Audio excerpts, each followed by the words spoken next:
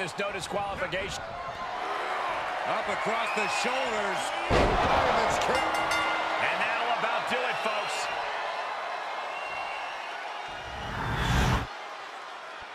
Here is your winner, Mr. T. And that seemed like a pretty